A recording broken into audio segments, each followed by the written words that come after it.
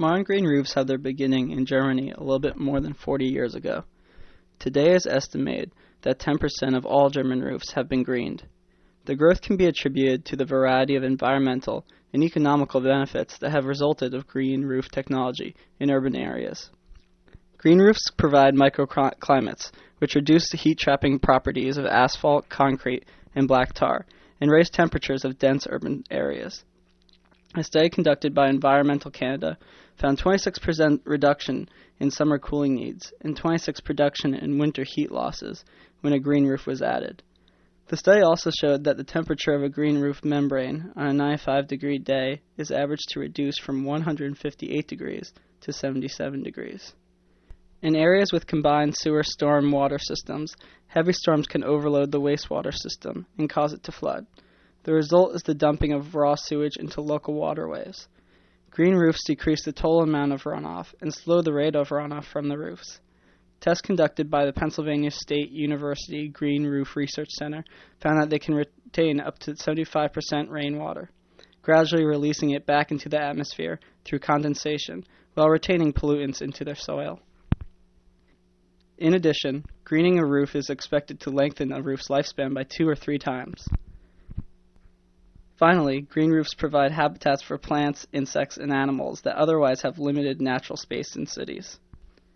Considering the vast amount of knowledge about the benefits of green roof systems and their success in Germany and Europe, it is surprising to find that the trend has not caught on quicker in the United States. Why is this happening, you ask? First of all, there is a lack of effort in the education of rooftop gardens in the U.S.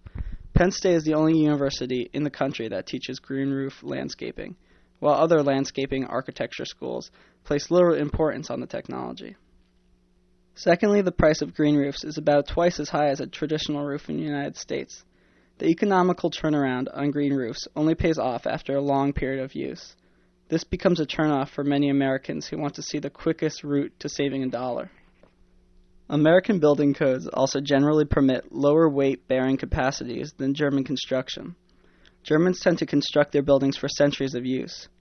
Because of this, German roofs bear more load, giving their roof installers more leeway with the weight of the green roof medium than American installers. Finally, Germany can more easily legislate stormwater mitigation. Although building codes and zoning ordinances exist within most American cities, most people in charge of enforcing these codes have no knowledge of the benefits that green roofs can have for stormwater mitigation. The areas where green roofs are starting to emerge in the U.S. are cities, where their use is encouraged by regulations to combat the urban heat island effect, such as Chicago, Atlanta, and Portland. In the case of Chicago, the city has passed codes offering incentives to builders who put green roofs on their buildings. Other sites in the U.S. today that are suitable for green roofs are countless pancake, flat topped warehouses. These buildings, which are situated in industrial areas such as Long Island City, were built before 1955 when structures were generally over engineered.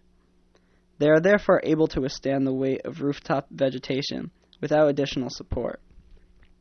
If the experience of Chicago and Germany are any indications into the benefits of rooftop gardens, Government needs to provide incentives that address short term costs before green roofs can begin to ease our increasingly hot, polluted cities. New materials must also be explored that are lighter and easier to install to encourage the personal homeowner to invest in the environment and lower energy costs. As Americans, we tend to be insular to foreign ideas and technologies. It is incentives that must force us to consider a healthier future where less is going to waste.